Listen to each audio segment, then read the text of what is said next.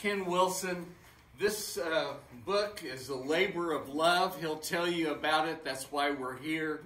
But uh, it's a wonderful book. I think uh, they have some copies there on the back table. Uh, Ken, let's. Uh, you, everyone knows you. I don't have to. It's not like you're uh, somebody that we aren't familiar with. But Ken Wilson from Dripping Springs, Texas, and his beautiful wife Debbie Wilson.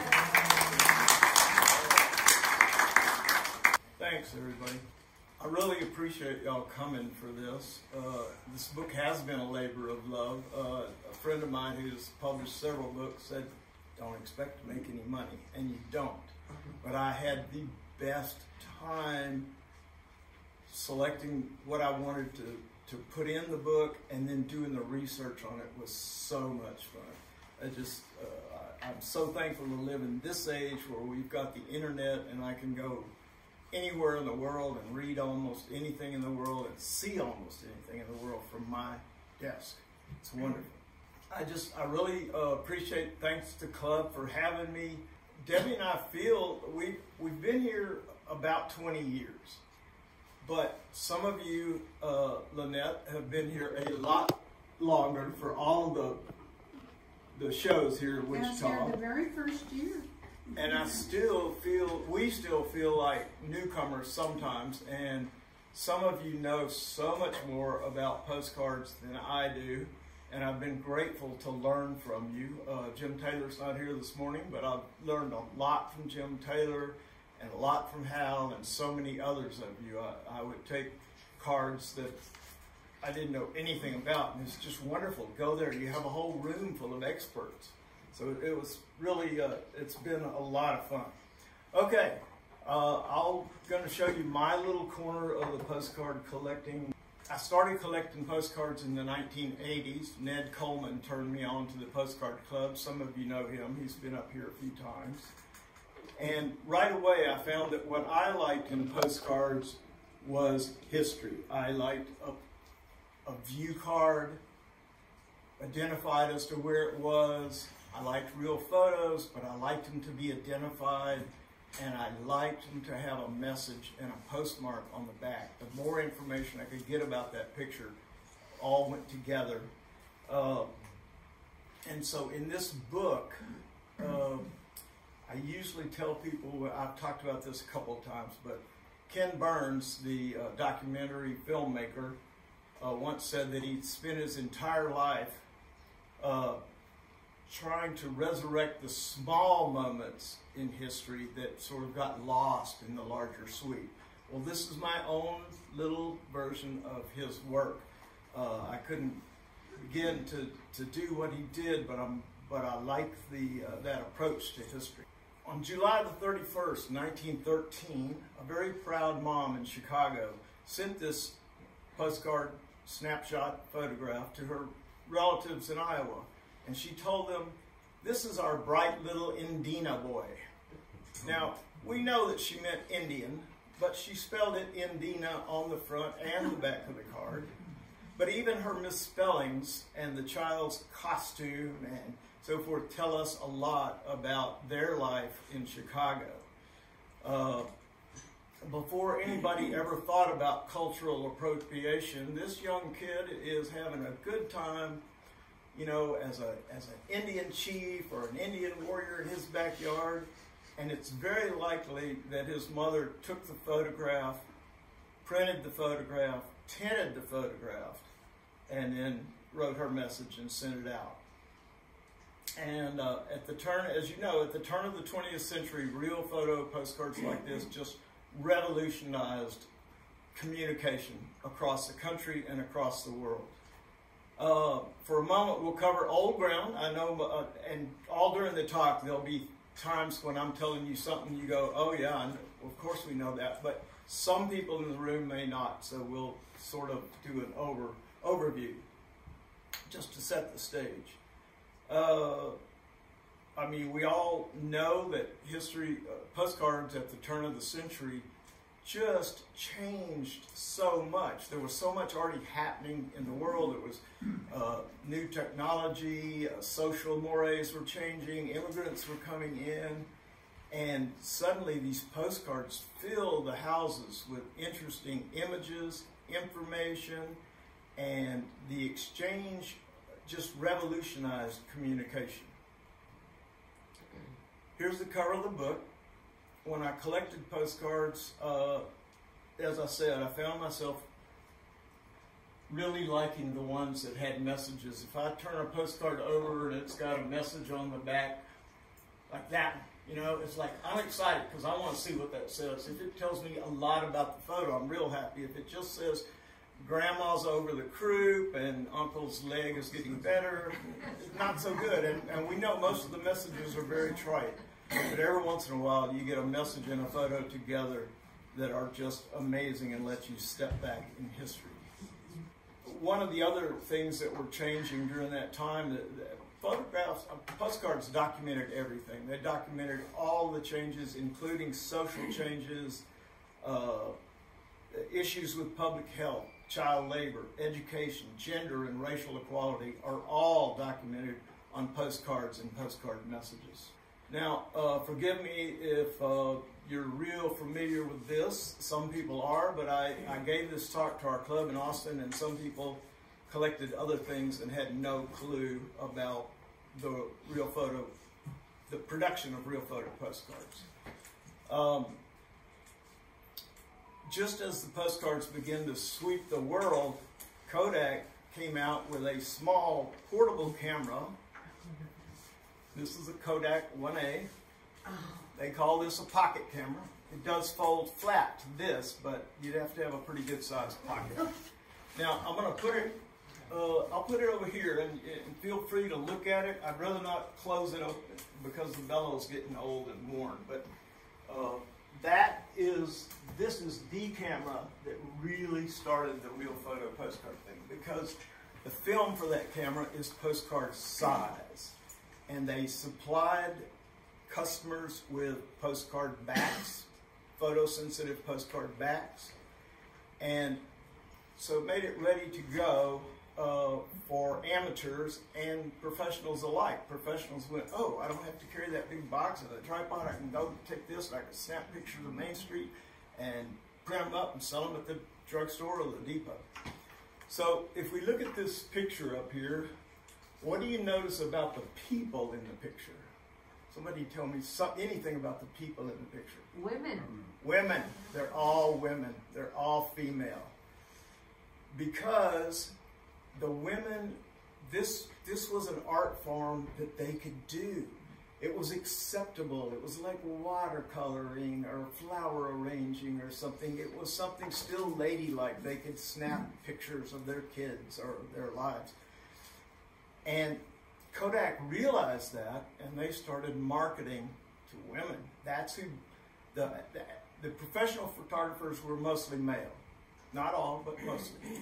The amateur photographers were mostly female. And Kodak knew that. They marketed directly to women. You see the woman in the middle, upper middle there. She's she has developed her own film. She's she's taken a look at the film. Uh, they sold them kits for developing and printing or they could take it to any photo uh, shop, dealer, photographer, and get them developed. Uh, oh, another thing about women, at just then, just as now, women were the communicators in the family. They were the ones that wrote the letters and wrote the postcards, so it all fit. Okay, these are the first, that is just sort of a list of the parts and chapters of the book. Uh, part part one is sort of what I've just gone over in a few minutes, only I stretched it out as far as I could. And the second part there is the 20 chapters that I've developed, uh, that I've uh, put these postcards into. And as you know, a postcard can be sorted into at least three different places. So it was a hard choice sometimes. Okay, we'll get started. We're going to start with the first chapter is for top photographers and postcards. That postcard, the larger one there, well, both of those, uh, I borrowed from Ned Coleman. And I've seen that image before, but these are written and written by the photographer, Floyd Quick. opened his own studio in Indianapolis in 1905, but he soon sold the gallery and took his show on the road. And he writes to his father on the back of one of those cards, uh, Wabash, Indiana. I'm sorry, Wabash, Indiana, August 16th to 21, 1909. Sold my gallery. I'm on the road. See my outfit on the other side. Having a good time, good business. We'll be in Michigan in two weeks. We'll write you later. And he traveled, you know, uh, street fairs and carnivals and circuses, and he traveled, photographed all the people involved in those activities, and then he always set up and did, you know, get your picture done on a postcard in 10 minutes. They're still doing that today at state fairs and places. They give you a Western costume or something. And Debbie and I were real familiar with this. It makes sense to us because we made our living for more than 20 years setting up at art shows and selling art. And uh, so the whole thing of move in, set up, sell two days, pack up, move to the next one, you know, it's like, yeah, we get it. It was hard work. He finally closed down doing this and he moved back to Detroit and he had a, photo, a photographic studio there for the rest of his life. Okay, I bought this online on eBay. I looked at it and I went, that's a, when we're talking about the big black and white, that's a professional photographer. You can just tell looking at him. But he didn't sign the card. He writes a note, but he didn't sign it. And I went, there's enough information there. He talks about where he's working and, and the information about who he mailed to. I, said, I knew I could figure it out. And it didn't take long to find it. It's Asahel Curtis. It's Edward Curtis's brother. Hmm. And he also was a very well-known West Coast photographer. He photographed the Klondike Gold Rush. He photographed uh, Alaskan natives out whale hunting. And uh, in some of those times, he sent those pictures back to his brother, and they were in business together. Unfortunately, he claims Edward marketed them under his own name, and the two brothers split and uh, remained apart, I think, the rest of their life. Um, writes, Dear friend, I have a good job with Roman's Photo Company, commercial photographers here. Do a good deal of outside operating and strike a good deal of newspaper jobs. I intend to swing onto a paper with my photography and drawing together after a while. I'll remain, and then he just drew an arrow to himself. But this is, I'm sure you've all recognized that one. Very, very oh, well-known yeah. photograph. That's one of the photographs he did for Yellowstone. Now, Hal of Tal and Hal, Tal, Tal of Tal and Val, Hal wasn't involved, uh, uh, tells me that the story is that, that that is him, that's Asahel, that he set the camera up here on a timer and went and posed for that. I always took it to be a ranger, but anyway, that's the story. Uh, and unfortunately, I've never seen any real photos of those Yellowstone carvings like that, but but they're still, I don't know, still very interesting. He was uh, quite the guy. When he when he died, his family had his ashes put in a large urn, and they put it in the Snoqualmie National Forest hmm. on a big monument. And then here's the urn. Shortly thereafter, lightning struck the urn and exploded everywhere. And his family responded and they said, We're going to take that as a compliment to the man and his work. All right, now this is uh, the work of an amateur photographer, uh, Earl, who spells his name I R L. Earl Dulban and Flora Horn were either friends or cousins, but she had she and her family had visited Earl and his family uh, in Kansas, but she lived in Pennsylvania. And she and Earl were both members of the International Photography Association at age, you know, 17, 18 years old. They both advertised in Camera Craft magazine and sold uh, uh, real photo postcards and supplies. And Earl writes to her after she's gone back to Pennsylvania. He writes, Cattle on the Plains, Thanks for the beautiful card. I think you do fine work. Come again. You're always welcome.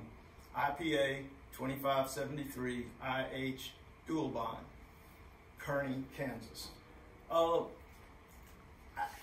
to me, I, I really like the background stories on these, and if you just think, I never could find out. Well, I did find both of them in ancestry. They they they did not marry. They may have never met again. But this exchange was very interesting. And his work, he obviously climbed up on the windmill to take that picture of his father and his brother and their cattle. But one thing that I like is right there. See that? Mm-hmm. What is it? It's a pinhole.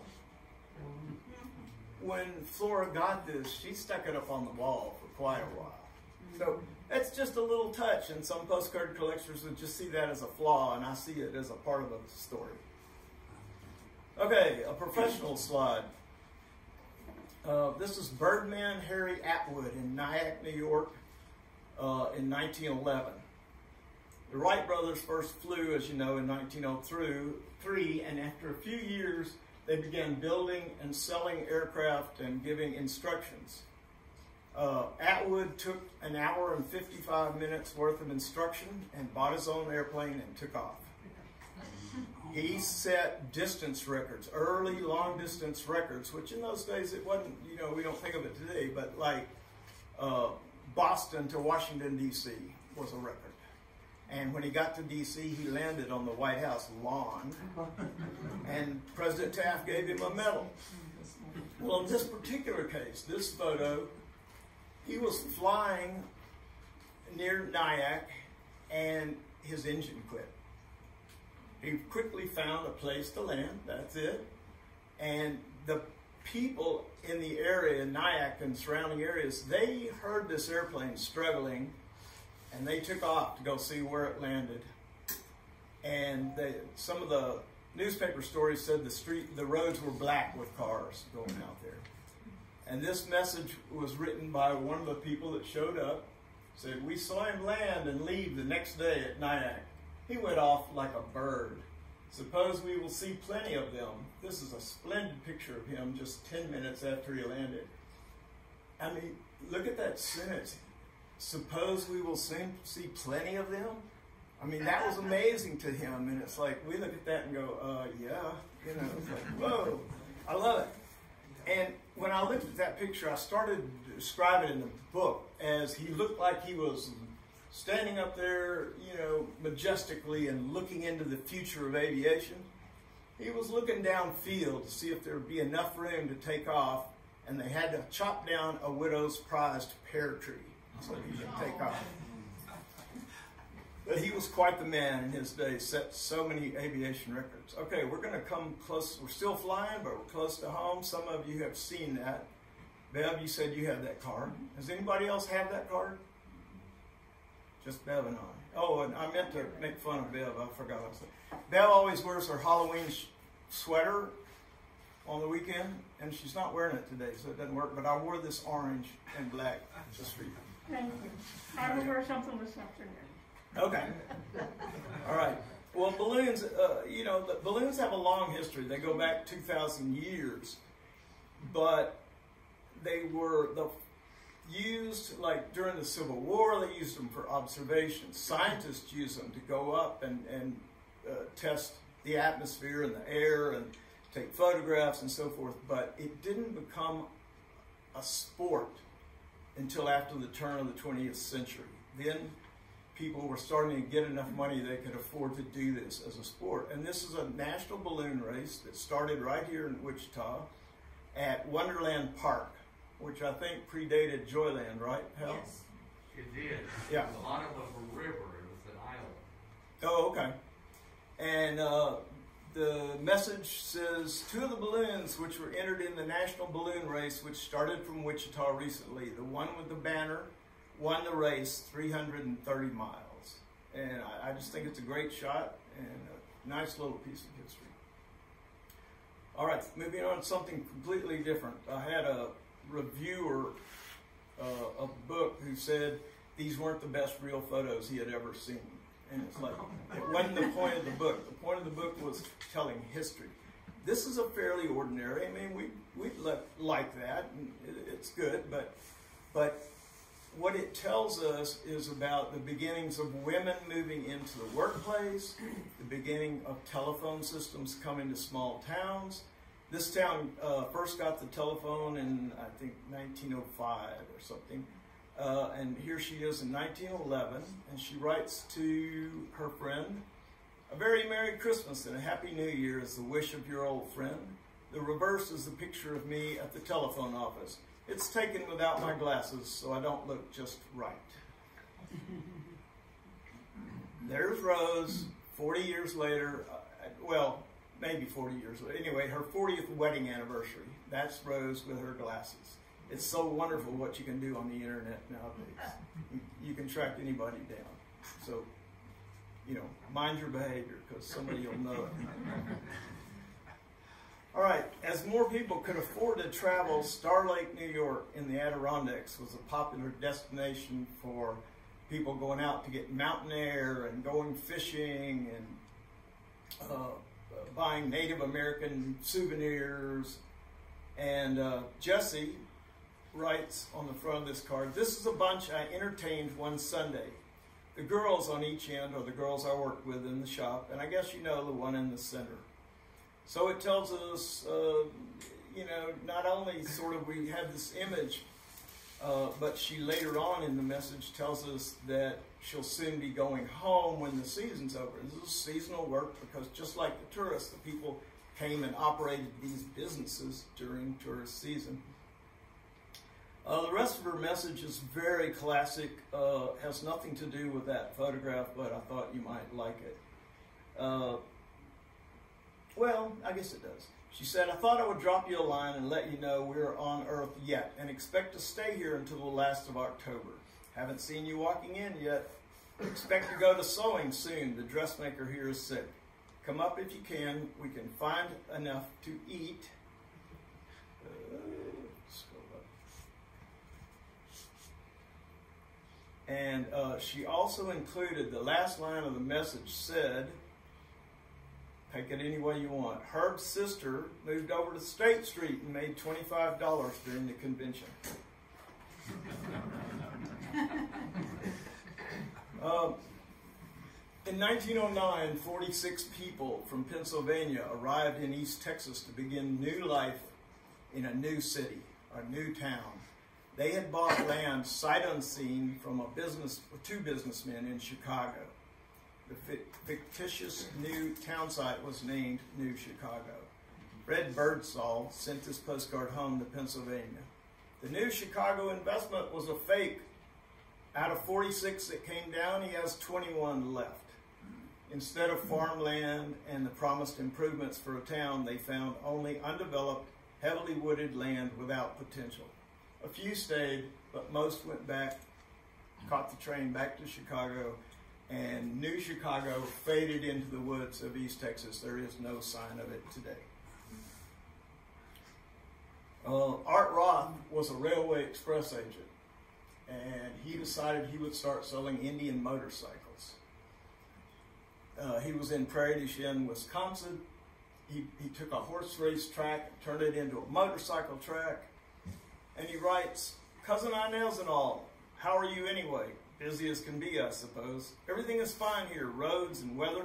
I sold 12 Indian motorcycles since last March, as ever art. Well, that sounds great, and I love the photo. And but his timing was off. This was 1915, and World War One had already started in Europe, and soon all of the Indian motorcycles went to France. Hmm. 50,000 Indian motorcycles. The whole production of Indian motorcycles went to World War One, and the same was true for Harley Davidson and the British Douglas and the Triumph and all those motorcycles. So, you know, uh, uh, Art Roth may have gone back to the being an express agent, but it's an interesting piece of American history. Um,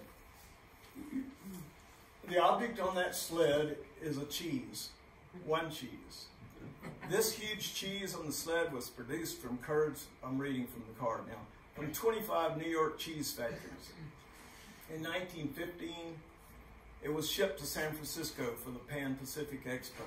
It oh. traveled for 17 days in a boxcar, and J.H. Searle rode the whole way in the boxcar with the cheese. Mm-hmm. When it got to the fair, they cut it up, sold it in one pound packages for 25 cents. And they said fairgoers just scarfed it up and it was gone in a few days.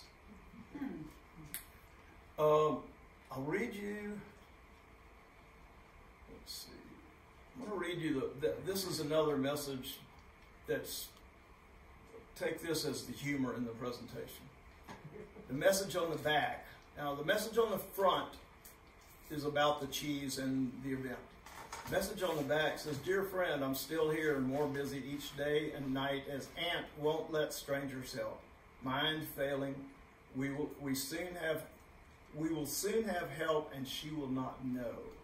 I am not feeling extra well, not used to so much confusion and hardships. I hear Jenny Gleason has a stroke, and one of Almo's boys was wounded with a gun while cleaning it. If you know any particulars, let me know. I want to go home so much.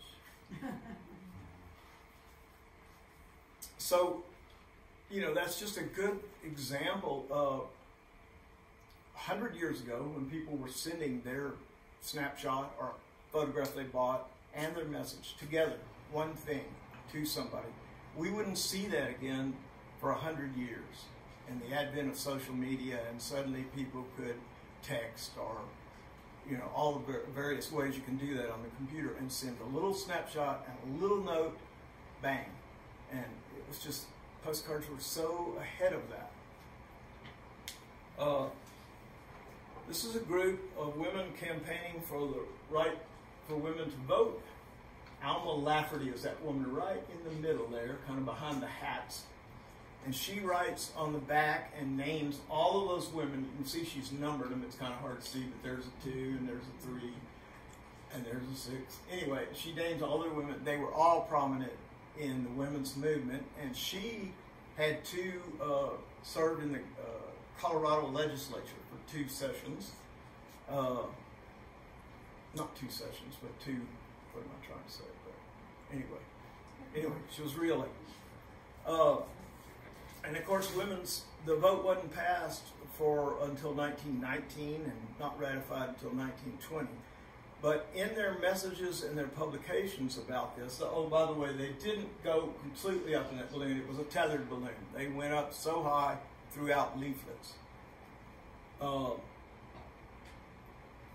but they wanted to make sure at the time that those anti-women right people knew that they could cook.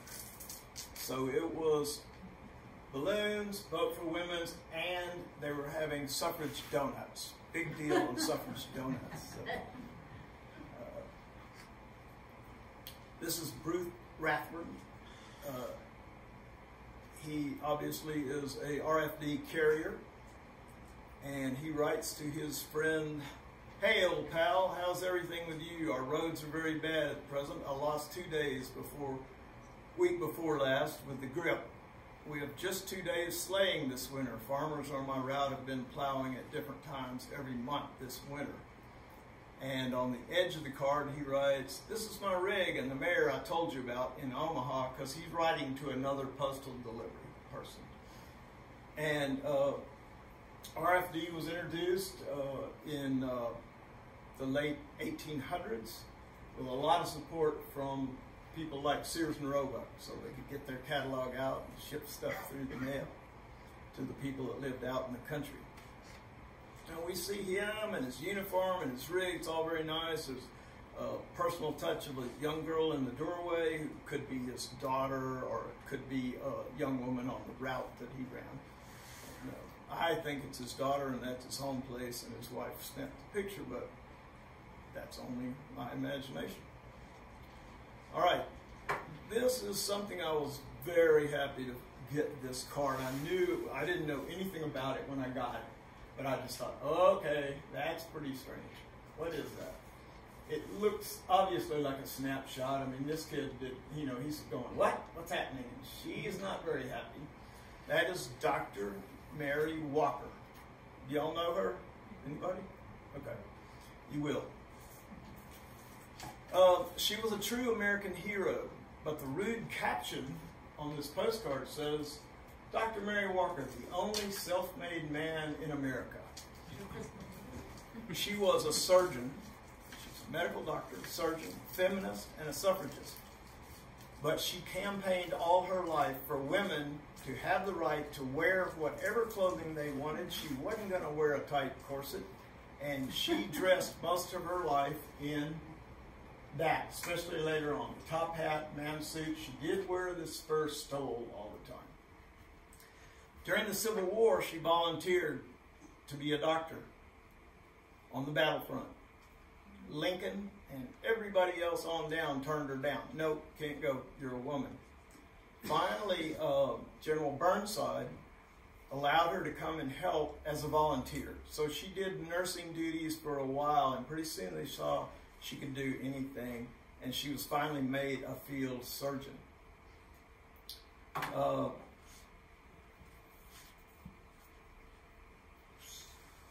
I was going to read. In uh, ni- uh, 1862, the New York Tribune reported, dressed in male habiliments, she carries herself amid the camp with a jaunty air of dignity, well calculated to receive the sincere respect of the soldiers. She can amputate a limb with the skill of an old surgeon. She was awarded the Congressional Medal of Honor for her work during the Civil War. But in 1917, they rescinded any medals of honor that were awarded for anything other than combat. Hmm. Hers was taken away. Buffalo Bills was taken away, and she and they were supposed to return them, and she said, "The heck with that," and she wore it the rest of her life, and rightly so. Mm. Oh, there's some, just some pictures off the internet of her in her in her uniform. This is a uniform she figured out for herself on the field. So she's wearing a skirt, but she's still wearing trousers, and so forth. There she is a little later on with her, her medal. There she is as a young woman when she was in medical school. And then that's the way she dressed most of her life. And she gave lectures about women's freedom to wear whatever they want and women's suffrage. And she, this photo was probably taken in 1912 when she uh, testified before a congressional committee and she was on her way to that, and somebody obviously just snapped this, and I would imagine she hit him with that umbrella.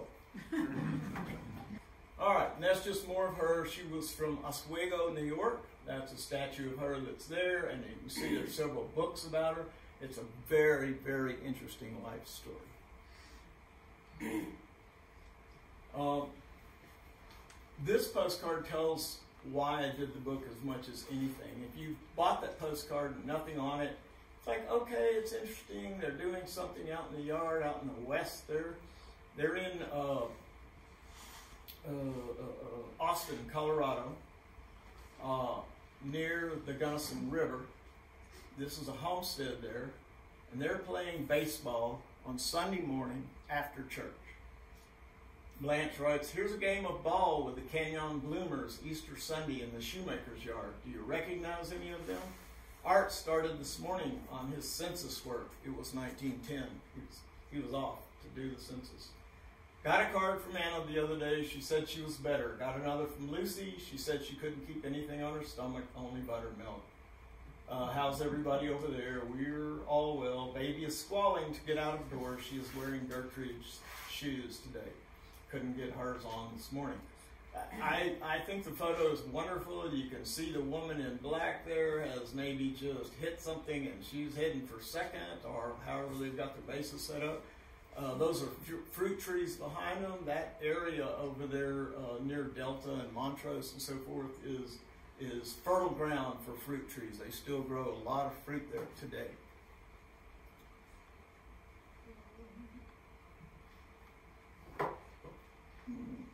All right. Norman Kinney writes Three kinds of foxes, four legs and two legs, 59 years young and 8 years old. My chum, 33 days trapping at Eagle River, Wisconsin. Greetings of 1917 N.L. Kinney. In the back, he writes Dear Anta, I am thinking of you today as of 50 years ago when you used to sing Old Shady to your little nephew. And then he signs it Normie Kinney on Bradford Hill. Norman Lafayette Kinney was born in Canada. He immigrated quickly to the United States and he homesteaded in Eagle River, Wisconsin. He was the first farmer to break land in that county and he grew potatoes, buckwheat, and corn. He was a fur trapper and he sold furs and butchered livestock and he sold meat to uh, the fur companies and the locals in Eagles River. And there's just so much detail in some of these. Uh, the rifle is a Winchester 73. Uh, the freedom, the song that he said his aunt sung to him, Old Shady, that was a freedom song sung by slaves and escaped slaves in the North, uh, living under the protection of the Union Army. Pat, do I have that name right? Is- Pat, right? Pam, Pam, sorry. that's close. I'm Okay. Uh, this is the one I told you about that I said was just for you, and I wouldn't tell you the whole story. Okay. Jakob, Jakob was born in Austria. He into a family of bakers. They taught him the baking trade. Right away, as a as a teenager, he moved to Switzerland by himself. Got jobs as a baker in big hotels in Switzerland. He wasn't through moving yet, and he soon caught a boat to New York as an immigrant. Got jobs at the Waldorf Astoria and other big New York places as a baker, and he kept moving across the country.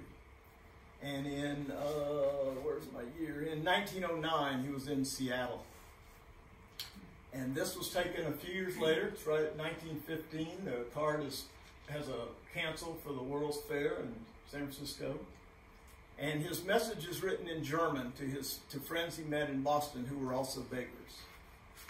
And he says, part of his message says, that is how a good hunter needs to be equipped. You should see me when we set off in a few weeks. Best greetings to your wife and two little ones, Obexer J. He uh, right away started using the name Jake instead of Jakob. And in San Francisco, he worked at the Fairmont Hotel, the Palace Hotel, the uh, St. Francis Hotel, as a baker. And he notices the trout they're serving in the kitchens, in, in the restaurant part of the hotel. And he, where did this beautiful trout come? from? They said, well, Lake Tahoe.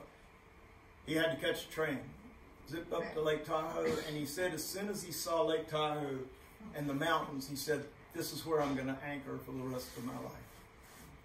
So for several years, he would go back and forth. In the winters, he'd be down in the hotels.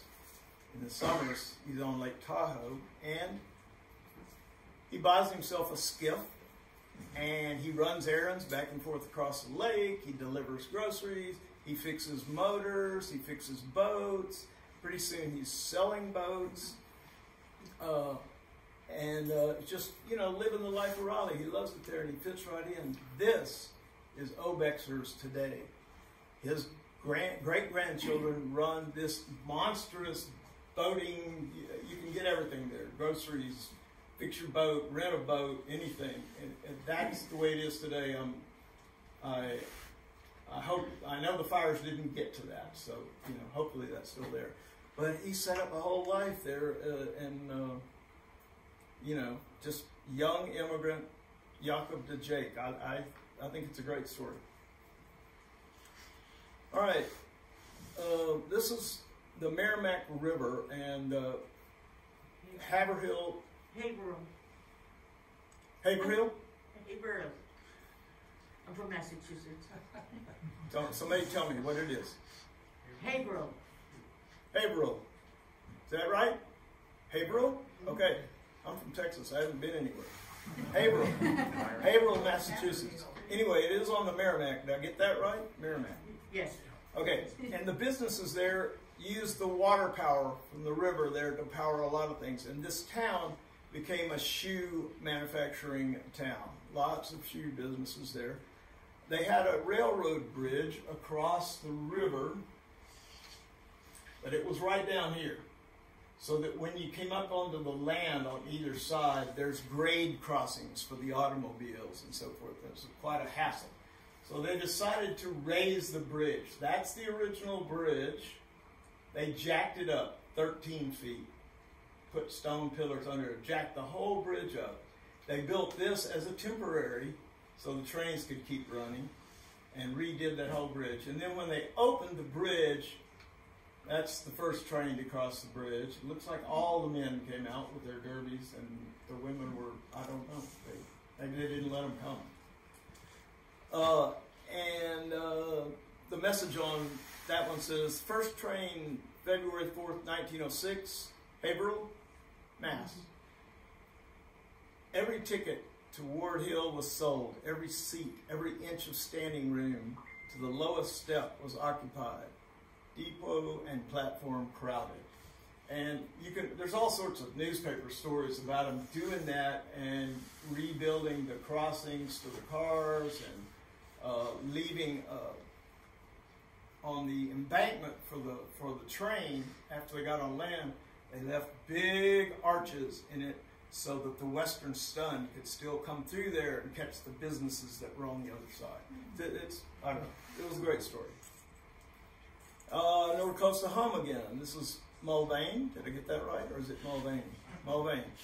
Right down here across y- across the road from y'all's casino. I know I know you all know where the casino is. Uh, Emma Schaefer was 21 years old uh, and living with her mother in Mulvane, and she sent this postcard uh, to a friend. And that is a picture of the Atchison, Topeka, and Santa Fe Railroad ambulance. Uh, great picture, great image, and of course, automobiles were just starting to come in and take over from this sort of equipment. So it, it's a, a real classic for its time. Um, one of the things about that hospital is that Santa Fe Railroad developed their own system of hospitals and medical care for their employees because there were so many terrible railroad accidents way out away from cities. So they needed care for them. And they learned to care for these real traumatic injuries from the doctors who had learned during the Civil War. And those, everything they learned and so forth went on to, uh, to become the basics of medical care for traumatic injuries in World War One and before that. So they were uh, they were breaking ground, and they also it was new for a company to provide such care for their own employees. It was their first medical system for for employees. Uh, of course, uh, people of color had to have their own separate wing. They could not be treated together. Um, I'll screw up this name too because I had a hard time with this one. Uh, Lake Hopatcong. Hopatcong? Is that right? Somebody corrected me on that earlier. But anyway, in New Jersey, Lake Hop- Hopatcong.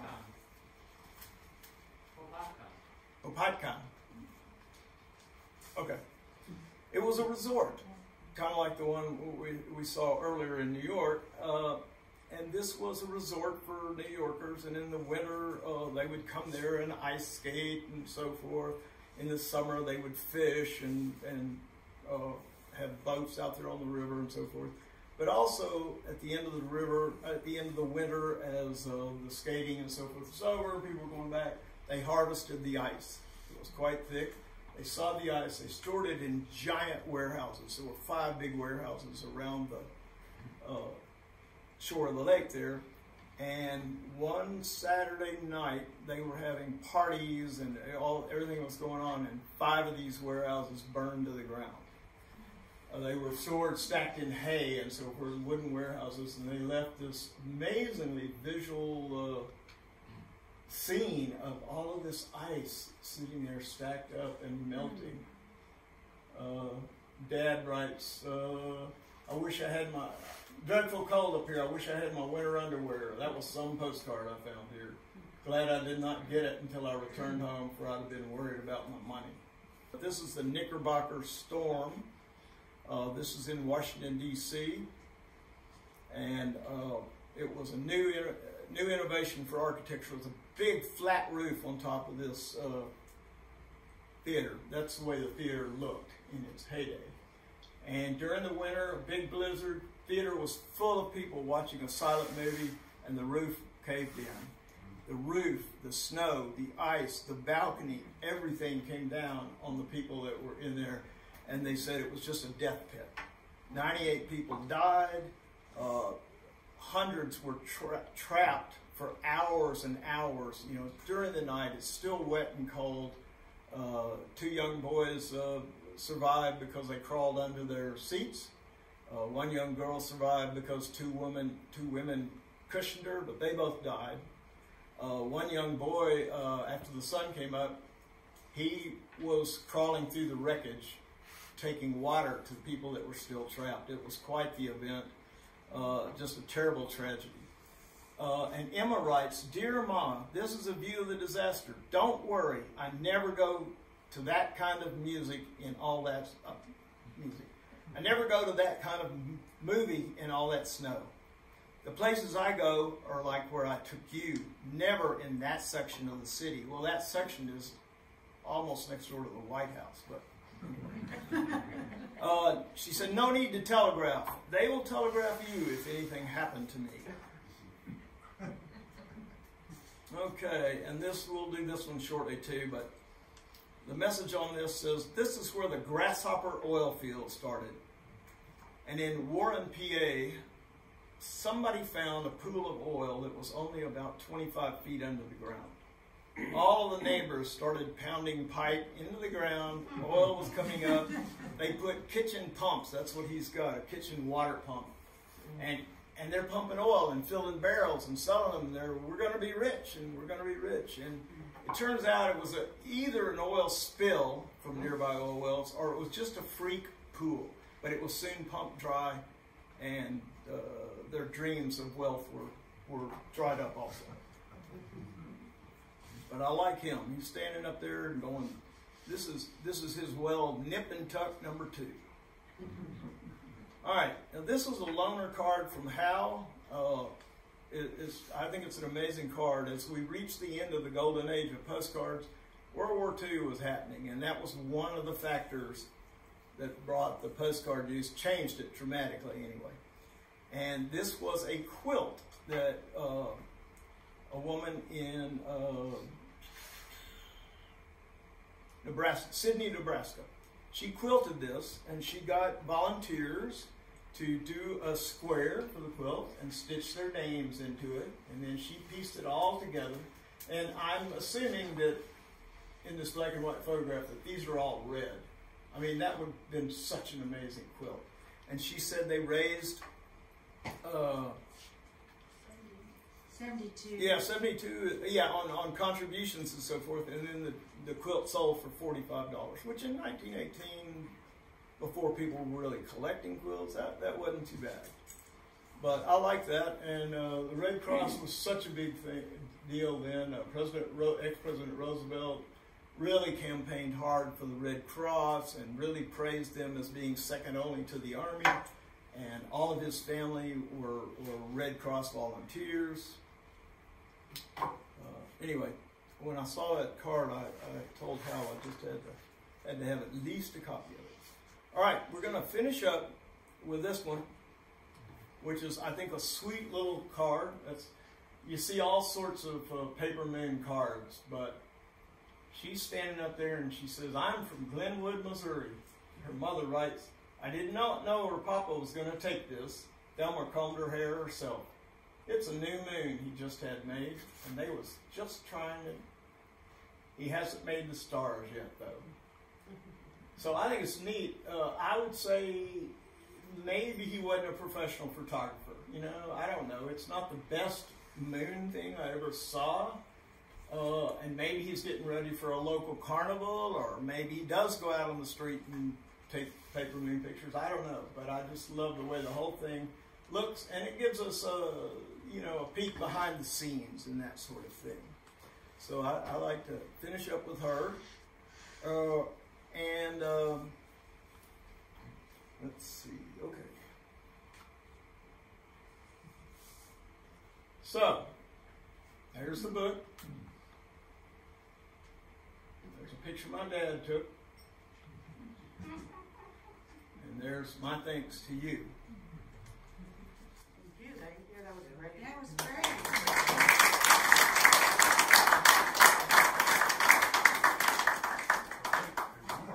Wait.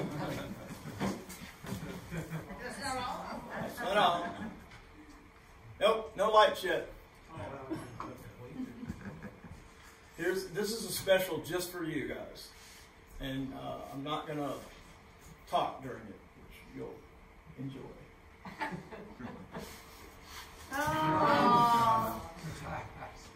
Hey, there I. There you are. That was uh, 2009, and our own paper moon, which uh, Debbie and Brian Jones did a lot of work on that. And I've forgotten who made the moon. Hal, was it Chris? No, um, Some other local. it local. was family. Yeah, My family. okay. Yeah. All right. That was, for those of you, if you missed that, that was a heck of a Yeah, fun thing. fun. There's Brian again. There's Oh, Phil. Tyler now. Jim and Wally. Uh,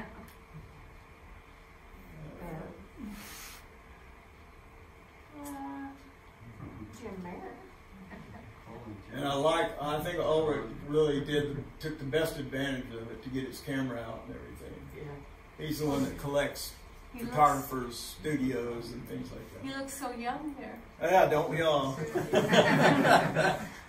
The Peterson. There's the Peters. Taylor's. Tom O'Baney. Tom Mulvaney, Yeah. Jim and his wife, Susie. So how, when were these taken? Oh, Oh, there's Look early- at all 1909. Still I mean, 2009.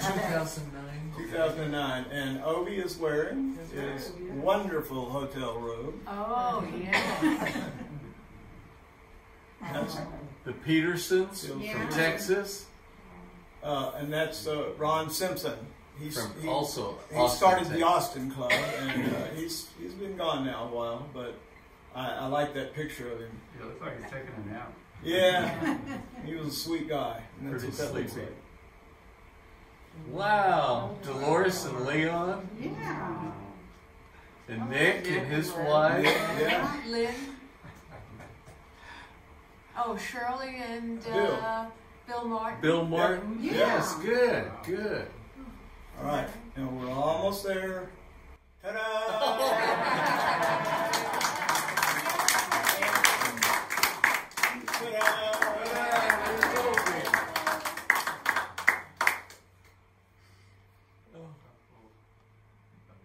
That's it. Thank you, it was wonderful. Thank you, Ken. That Oh, you're was quite welcome. I'm honored to be asked to do it, and uh, I stumble a lot, but I get there. Great And work. Ken, if you do a second book, you have to do that card I showed you where they're spraying manure on the streets. If I do a second book, I'll be too old to stand up. We'll get you a chair. They're spraying manure on the Kansas streets. Oh yes, yes, Remember that card? yes, I do. And I have, you know I mean, I have, uh, I think there were 170 or so images in this book, and I have twice that many more that I would have liked. Oh, to- yeah. You know how it goes. Hmm. Thank you all for coming. It's been Thank you for great. coming.